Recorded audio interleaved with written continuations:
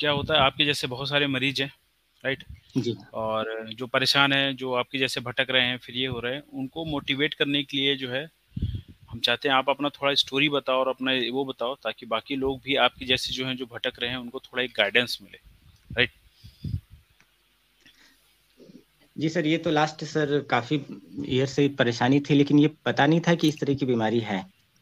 तो हाँ तो ये थोड़ा अपना परेशानी बताओ कि क्या परेशानी हुआ, कहाँ कहाँ भटके क्या क्या दिक्कत गई? और फिर जो इलाज का है वो तो अपन डिस्कस करेंगे, क्योंकि क्या हो रहा है, लोग बीमारी ही नहीं पकड़ पा रहे हैं और भटक रहे हैं दूसरी जगह, ठीक? तो जैसे आप थोड़ा अपना स्टोरी बताओगे तो लोगों को थोड़ा समझ में आएगा कि ऐसी प्रॉब्लम होती है तो करना क्या है।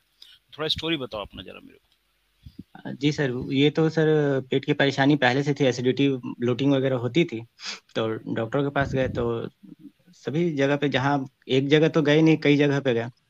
तो हर जगह वही था कि आप दवा खाइए एंटासिड्स खाइए ये ये दवाएँ हैं। सिर्फ़ कंपनियाँ बदलती कपोजिशन वही रहते थे बस बाकी दवाएँ वही चल रही थी। ये काफ़ी लंबे समय तक चलता रहा। तकरीबन सात आठ साल चला। सात आठ जी सर सात आठ साल चला पूरा। इसी तरह सिस्टम लेकिन प्रॉब्लम सॉर्ट आउट हुई नहीं। फिर बीच में एक बार क्या हुआ कि मुझे एक्सेस बिल्कुल एसिडिटी बहुत ज़्यादा बनने लगी और पूरा जलन होने लगा। तो फिर डॉक्टर्स के पास गए तो हमारे लोकल में जो डॉक्टर थे उनके पास कंसल्ट किए। तो पता चला कि शायद अल्सरेटिव है।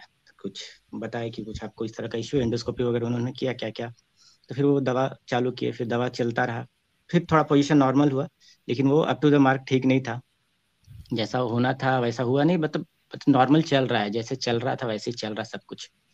अब होते होते प्रॉब्लम जा नहीं रही है, पेट में भी आवा मड़ोड़ पड़ रहे हैं। अब मरोड़ होने लगा था पेट में। लेकिन कुछ इश्यू नहीं आप दवा खाओ तो ठीक, दवा खाते खाते में भी परेशानी रहती थी, ऐसी नहीं थी। लेकिन इसका परमानेंट सोल्यूशन नहीं था तीन चार साल उधर निकल गया फिर, उसी तरीके से। और मतलब इसका कोई मतलब इसका कोई सोल्यूशन मिल ही नहीं रहा था। और डॉक्टर डायग्नोस भी नहीं कर पा रहे थे आठ दस साल तो डायग्नोस करने में लगे, और जिन्होंने पाया भी आईबीएस तो उन्होंने जो दवाई चलाई, वो दवाई इस पर काम भी मतलब नहीं कर रही थी। बस आप खाते रहो और बस चलते रहेगा गाड़ी बस उससे उसके अलावा और कोई बात नहीं था। तो फिर तो एक बार इसी तरह आप खाए हो जी। तो उससे पहले बीच में कभी और जैसे मेडिसिन तो उसके बाद कभी नेचुरोपैथी होम्योपैथी आयुर्वेदा यहाँ पे भी कभी ट्राई मारा है क्या? हाँ हाँ सर। आयुर्वेदा में ट्राई मारा था मैंने। हाँ वो एक चीज़ छूटा। आयुर्वेदा में ट्राई मारा था फिर बीच में दो साल एक डेढ़ साल पहले। तो वहाँ पे गए तो वहाँ भी उन्होंने अपना जो भी प्रोसेस था उन्होंने किया बोला हाँ ठीक हो जाएगा। तो डेढ़ साल तो मैं दवाई खाया पूरा जो भी उनका सजेशन था सब कुछ माना। लेकिन मोटा मोटी तौर पे कुछ ज़्यादा बेनिफिट हुआ नहीं उससे। हम्म। और हल्का इम्प्रूवमेंट था और कुछ वैसा था भी नहीं और मुझे रिलैक्स नहीं फील हो रहा था। मतलब बीमारी थी ही। तो फिर यूट्यूब पे वीडियोस आपके आते रहते हैं उसमें से एक वीडियोस आया था।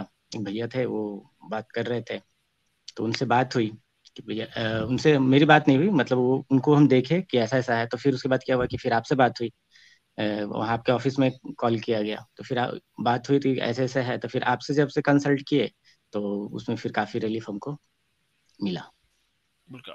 तो सबसे देखने वाली बात यह है कि पहले तो बीमारी पकड़ में नहीं आ रही है, पकड़ में आ रही है बहुत दिनों बाद तो फिर उसका इलाज में भी दिक्कत है। राइट तो पेचीदा है सर ना कि बीमारी ही नहीं समझ पाते हैं लोग। सबसे बड़ी दिक्कत यही है। जो ये आईबीएस है ये पकड़ में ही नहीं आता है लोगों को। सबसे बड़ा प्रॉब्लम यहाँ पे स्टार्ट होता है। अभी एसिडिटी की दवा चल रही थी आईबीएस है तो आईबीएस की दवा चल ही नहीं रही थी। चाहे आईबीएस के बारे में अच्छा इसमें सबसे बड़ा चीज़ होता है परहेज यानी आपको अपने पे कंट्रोल रखना आपका एक डिसिप्लिन फॉलो करना। इन सब के बारे में तो कोई बात करता ही नहीं है। कोई बात ही आप अगर डॉक्टर से आप डॉक्टर से पूछते हैं एलोपैथ में कि सर ऐसे ऐसे क्या खाना है क्या नहीं खाना है? अगर पूछ लिए आप तो डॉक्टर्स तो कहते हैं कि सब खाओ। सब खाओ। अब सब, सब खाओ। अब सब खाओ तो एज ए पेशेंट तो खुशी लगती है कि सब खाओ लेकिन एज ए मतलब कहने का मतलब बीमारी के लिए वो सही नहीं होता। गुमराह वाली वो एक गुमराह करने वाली बात है। उस समय सुनने में तो अच्छा लगता है लेकिन बाद में पेशेंट तो हाँ। भटकता ही रहता है। ठीक है? और वो परेशानी बने रहती है। जब मैं डॉक्टर के पास गया तो मैं एक दो चीज़ और देखा था सर नोटिस किया कि वहाँ पे ऐसे ऐसे पेशेंट है जो कि सात सात साल से आ रहे हैं। सेवन सेवन ईयर्स से। बस वो खा रहे दवा। मैं भी तीन चार साल गया था तीन चार साल मेरे भी हो चुके थे और एक दो साल जाता तो पाँच छह साल मेरे भी हो जाते। पाँच छह साल हो जाते। तो कुल मिला के बात यह है कि कहानी ज़्यादातर लोगों की कहानी ऐसा ही है और आप भी आज जो ये लोग वीडियो कोई देखेगा बहुत सारे लोगों के जिनकी कहानी भी तुम्हारे जैसी होगी। इसमें एक और पार्ट है जो लोगों को समझना ज़रूरी है वो होता है एंजाइटी डिप्रेशन आना बीच में इस बीमारी में। ठीक? हाँ सर ये पता नहीं चलता लेकिन आता है। हम्म, तो इसके बारे में बताओ क्योंकि ये वाला पार्ट से लोग बहुत ज़्यादा दुखी हैं। तो शायद ये सब देख के उनको समझ में आएगा कि सब एक ही चीज़ से रिलेटेड है। सर ये एंजाइटी वाला जो बात है ना सर ये सबसे बड़ी बात है ना सर ये बीमारी है जिनको उनको तो नब्बे परसेंट लोग को पता भी नहीं है कि बीमारी उनको है, है। ये केस क्योंकि ये केस मेरे साथ भी हुआ कि डिप्रेशन एंजाइटी की जहाँ तक बात है तो आदमी को लगता है ना कि ये किसी और चीज़ से इसका कनेक्शन कहीं और है लेकिन इसका कनेक्शन खुद हमारे अंदर ही हमारे पेट से रिलेटेड रहता है लेकिन समझ में कुछ आता नहीं है। अब लग रहा है कि अच्छा ये ऐसे हो रहा है वैसे हो रहा है नेगेटिव पॉजिटिव कुछ भी एकदम उल्ट पटांग आता रहता है दिमाग में लेकिन पता ही नहीं चलता है कि ये उससे कनेक्टेड है। ये तो बाद में जब आप डायग्नोसिस करते हैं उसके बाद पता चलता है कि हाँ आप लोगों की बातें सुन के या फिर आप लोगों का सजेशन लेने के बाद पता चला कि अच्छा इसका इससे कोरिलेशन है। लेकिन ये होता है क्योंकि इस चीज़ को मैंने भी फेस किया था। पंद्रह सोलह में काफ़ी ज़्यादा फेस किया लेकिन उसमें जानकारी भी नहीं थी। प्रॉब्लम्स थे। अब बीच में कंटिन्यूटी में था ये डिप्रेशन में आदमी थोड़ा रहता ही है। और जब इस तरह की बीमारियाँ होती है तो कहीं ना कहीं तो कुछ ना कुछ चीज़ें छूटती है जीवन में। ऐसी बात नहीं है कि आदमी सक्सेस हर जगह करता है ऐसा होता नहीं है अक्सर। अपना तो अपना पूरा हंड्रेड परसेंट तो दे ही नहीं सकता है समझने दे, दे, तो समझने वाली बात यह है कि कहाँ एक छोटा सा पेट का बीमारी जिसका इलाज नहीं हो पा रहा है बाद में आईबीएस हो रहा है पेशेंट एग्जाइटी डिप्रेशन में उसके चक्कर में ज़िंदगी के बहुत सारी चीज़ें में वो स्ट्रगल करने में वो परेशान हो जाता है। ठीक? आपका भी जो कैरियर है उसमें काफ़ी सारा डिस्टरबेंस आया होगा बहुत सारा बहुत डिस्टरबेंस हुआ सर।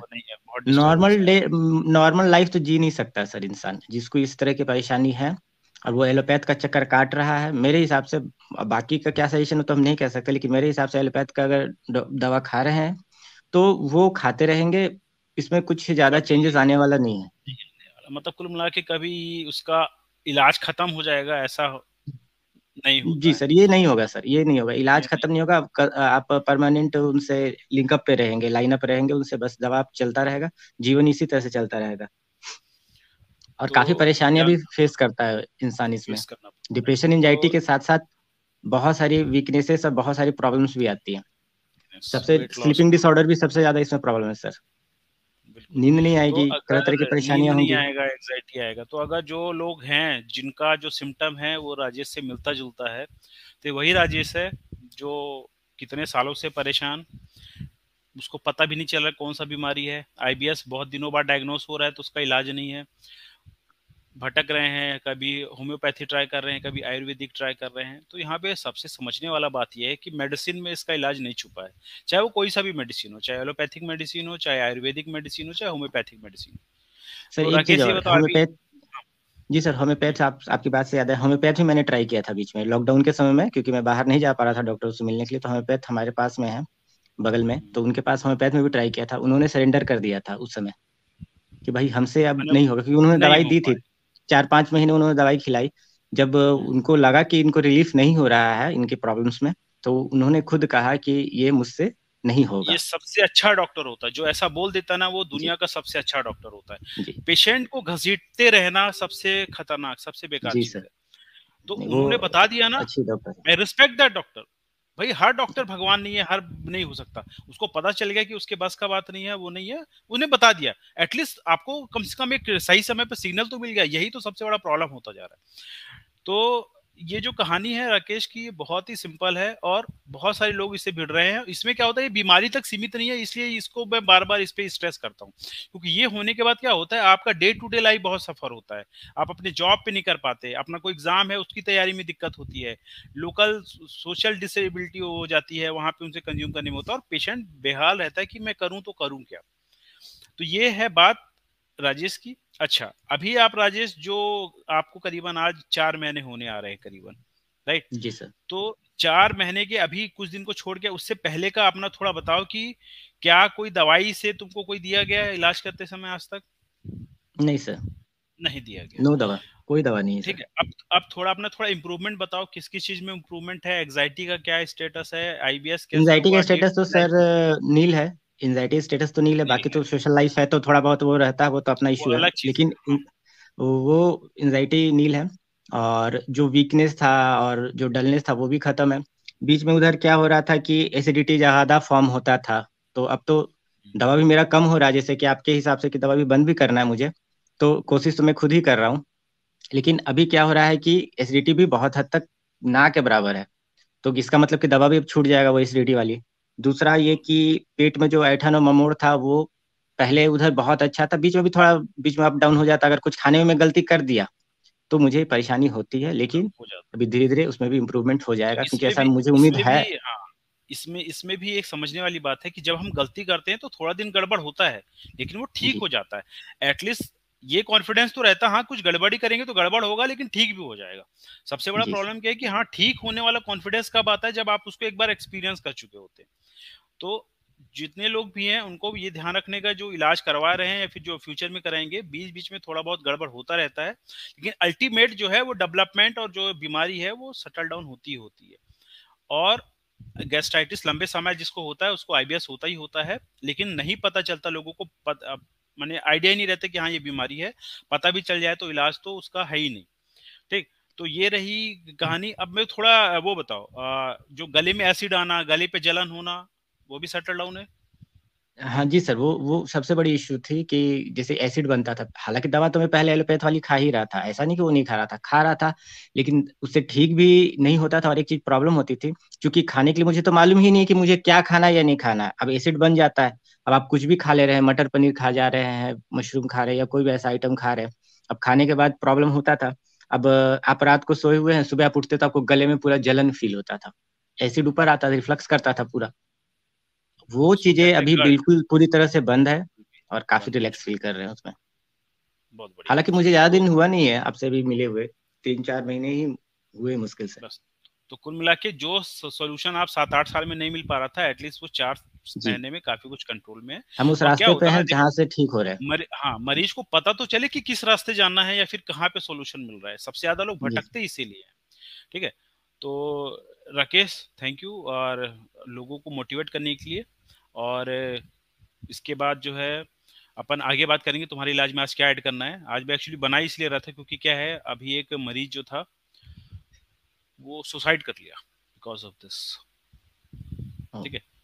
तो ऐसा तो नहीं होना चाहिए क्योंकि एक छोटा सा प्रॉब्लम से कोई इतना बार परेशान हो जाए कि सुसाइड कर ले ट्रेन के आगे जाके कट जाए ठीक तो इसको क्या है आप जैसे लोगों का वीडियो दिखा के लोगों को मोटिवेट करना ज़रूरी क्योंकि क्या है कुछ लोग इतने अति परेशान हो जा रहे हैं कि जिसका कोई हद नहीं है। ठीक तो इसीलिए मैं एक नया इस टाइप का कर रहा हूँ ताकि जो लोग ठीक हो रहे हैं ना वो लोग कम से कम वीडियो देख के उनको पता तो रहे हाँ कुछ तो सोल्यूशन है। अब इसमें प्रॉब्लम ये है ना सर कि ये इंजाइटी और कनेक्टिविटी सर साइकिल बन जाता है सर ये आपस का।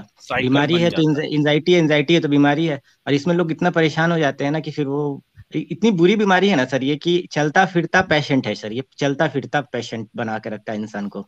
कभी उसको ठीक ही नहीं होने देता। फील ही नहीं कर सकता कुछ काम ही नहीं कर सकता इंसान बंदा। बिल्कुल तो वही है। भाई मेरा कहना है बाई चांस मान लो तुम हमारा वीडियो नहीं मिला होता। तो वही दिक्कत होती है चल रहा है। ना? मुझे दिक्कत होती है सर। आप तो मतलब भगवान का शुक्रिया। आपका तो शुक्रिया है ही कि सर आप आ, हमें ट्रीट कर रहे हैं और मैं ठीक हो रहा हूँ। लेकिन भगवान का भी शुक्रिया कि आप तक पहुँचाने का ये जो माध्यम था मीडियम था कम से कम यूट्यूब बना ताकि आप तक पहुँच पाए। आपकी वजह से अभी ठीक हो रहा है। ये सबसे बड़ा आपका धन्यवाद है कि आप जैसे लोग हैं अभी ताकि हम लोग जैसे पेशेंट्स का इलाज हो पा रहा है संभव है। नहीं तो मुश्किल है अभी इस क्योंकि क्या होता है same to same same to same word बहुत सारे लोग बोलते हैं। तो उसमें ये एक चीज़ समझ में आ गया है कि हम चाहे कितना भी नॉलेज बता दें यूट्यूब में जब तक वो लाइव पेशेंट को एक्चुअल पे नहीं देखता ना तो अंदर मोटिवेशन नहीं आता। इसीलिए अब हम लोगों को मोटिवेट करने के लिए जो मरीज़ ठीक हो रहे हैं उनका उनके बारे में बताना एक बहुत इंपॉर्टेंट स्टेप है। उससे क्या होता है सामने वाले को कॉन्फिडेंस आता है क्योंकि वो इतनी बार फेलियर हो चुका होता है उसके अंदर हिम्मत ही नहीं पड़ती कुछ नया करने का या फिर कहीं इलाज कराने का। तो ये तो सबसे बड़ा चीज़ है सर। बहुत दिक्कत है इस बात में तो बिल्कुल है। सर की हिम्मत टूट जाता है सर लोगों का। हिम्मत टूट जाता है तो वो उसको हिम्मत कैसे आएगा? जब वो अपने जैसा एक मरीज़ देखेगा अपने जैसा मरीज़ को ठीक होते देखेगा और उसको एक आइडिया लगेगा कि हाँ भाई करीबन कितना टाइम लगता है भाई ठीक है? हाँ उसको इंप्रूवमेंट दिखेगा हाँ एक महीना दो महीना तीन महीना तो अभी क्या हो रहा है हमारे पास ऐसा लगता है बीमारी हुआ दवाई खाए सब खत्म। वो तो आठ साल से खत्म नहीं हो रहा तो एटलीस्ट उन लोगों को पता चले कि हाँ भाई ऐसा भी इलाज है ऐसे भी पेशेंट है। कई बार उनको लगता है सिर्फ़ मैं ही एक मतलब बदकस्मत हूँ जो पूरी दुनिया में घूम रहा हूँ। तो ऐसे पता चले कि हाँ भाई ऐसा भी सिम्टम आता है और ऐसे भी मरीज़ होते हैं। उनको ये समझाना बहुत ज़्यादा ज़रूरी है। तो लोग कन्विंस भी नहीं होते हैं सर। लोग कन्विंस भी नहीं होते उनकी गलती नहीं है उनकी गलती नहीं है। चक्कर क्या हो रहा है? वो इतनी जगह धोखा खा चुके कैसे कन्विंस हो जाएँगे? हाँ। बिल्कुल भाई उनको एलोपैथी में भी वही दिक्कत है आयुर्वेदिक में भी वही दिक्कत है होम्योपैथिक में भी वही दिक्कत है। और यहाँ पे नेचुरोपैथी में इतने सारे झोला छापे उनके चक्कर में फंस जाते तो उनको सही इलाज नहीं मिलता। तो फिर चक्कर क्या हो रहा है वो पूरा मिसगाइड और डिसहार्टन हो जाता है दुखी हो जाता है। तो ऐसे लोग को मोटिवेशन आप जैसे लोगों से ही मिलेगा जो भुगत चुके हैं और उनको एटलीस्ट हम तो एक लोग को कन्विंस कर रहे हैं सर एक लोग को हम कन्विंस कर रहे हैं हालाँकि उनको हम उनको चूँकि ऐसा विश्वास है कि एलोपैथ में ये ठीक हो जाएगा। तो किन्हीं किन्हीं का ऐसा फेथ होता है ना गुड फेथ बचपन से उनको आइडिया होता है लगता है। वो एक्चुअली तो, क्या होता है नहीं वो चक्कर क्या होता है वो जब तक दो तीन साल भटकते नहीं ना तब तक वो वो वाला एक्सपीरियंस आता हाँ, नहीं है ये हो जाता हाँ यही चीज़। अभी उनको नया ही हुआ है ये चीज़ और वो जिस हिसाब से सिम्टम्स बता रहे तो हम तो समझ गए कि उनको इसी तरीके की परेशानी और यही प्रॉब्लम है क्योंकि वो सिम्टम्स बता रहे थे हमको मैच कर रहा था। हम उनको समझाएँ कि देखिए इस तरह इस तरह का। तो लेकिन अभी उनको क्या है ना कि फिर नहीं मेरी बातों को क्यों माने? सबसे बड़ी बात है कि मेरी हाँ, बातों को क्यों मानेंगे? देखिए जनरली अगर मैं भी शायद उनके प्लेस पे होता तो मैं भी ऐसी होता लेकिन ये जब तक हम लोगों को दिखाएँगे नहीं एग्ज़ाम्पल तब तक ऐसा ही चलता रहेगा। तो ये एग्ज़ाम्पल उनको मैंने कह रखा है कि ठीक है आपको जब तक लगता है यहाँ पे ट्रीटमेंट करवाइए। अगर आपको ऐसा कभी फील हो कि आप सेटिस्फाइड नहीं है तो आप हमको बताइए। आपको इसका हम अच्छा रास्ता बताएँगे जिससे आप परमानेंटली ठीक हो सकते हैं। ऐसा मैंने कहा हुआ है। बिल्कुल। और राजेश पे सबसे इम्पोर्टेंट क्या होता है सबसे लोगों को एक चीज़ और बताना है जो आप डाइट खा रहे हो ऐसा नहीं लगता आपका डाइट जो है कोई रिक्शा वाला भी खा सकता है और आपका चपरासी भी खा सकता है आपका गेटकीपर भी खा सकता है। जी कोई भी कोई भी नॉर्मल से नॉर्मल इंसान खा सकता है। खा सकता कोई भी सिंपल से सिंपल इंसान खा सकता है। सिंपल से सिंपल इंसान खा सकता है। तो सबसे बड़ी कोई फैसिलिटी फैसिलिटेड चीज़ नहीं ना बताते आप कि आप वो हाँ, फॉरेन का वो फलाना एवोकाडो खाना है कीवी खाना है हाँ, वैसा कुछ है नहीं। तो आपको ये चीज़ क्लियर है ना जो आप खा रहे हो वो आपके बगल की दुकान पे ही मिल रहा है और आप खाते आ रहे हो। बस थोड़ा सा इजी अवेलेबल है सर इजी अवेलेबल है। और एक चीज़ और लोगों को समझाना पड़ेगा डाइट कुछ फिक्स नहीं है। हर पंद्रह दिन में इसको बदलना पड़ता है ठीक है? और धीरे धीरे ठीक होता है। तो ये राकेश की कहानी है अगर आप कोई पूछेंगे सर ये डाइट बता दीजिए। नहीं पता रहता मुझे क्या डाइट है। जैसा राकेश बताएगा भाई मेरे को सर वैसा हो रहा है तो वैसा डाइट देना पड़ेगा। फिर चेंज करना तो धीरे धीरे ही चेंजेस आते हैं और डाइट हर पेशेंट के लिए अलग अलग होता है अलग अलग टाइम पे अलग अलग दिन पे। आज राकेश जो इस स्टेबल पे है ये शायद फ़र्स्ट डे नहीं था। ठीक? आज जो आपकी स्थिति फ़र्स्ट डे नहीं थी। जो आपकी डाइट आज है वो फ़र्स्ट डे नहीं था। काफ़ी कुछ बदल चुका है। ठीक? तो thank you Rakesh. I hope तुम्हारी स्टोरी सुन के शायद बहुत सारे लोग मोटिवेट होंगे। ठीक है? और धन्यवाद सर।